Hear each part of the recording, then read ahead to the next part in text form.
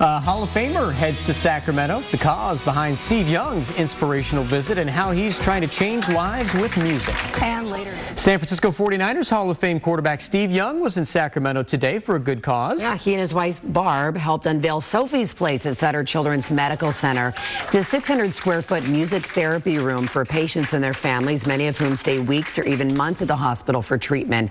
This is all part of the Forever Young Foundation's newest initiative and thousands of dollars raised locally from sponsors like Sacramento's Donut Dash.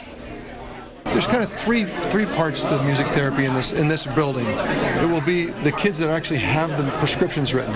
There's pain reduction. Barb talks about that all the time. The fact that significant pain medicine is taken away from the daily routines of kids because of the music therapy.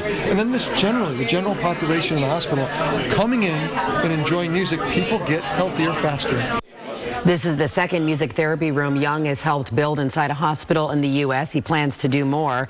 The space in Sacramento includes a recording studio, a performance area, practice room, and listening station. Just a beautiful space.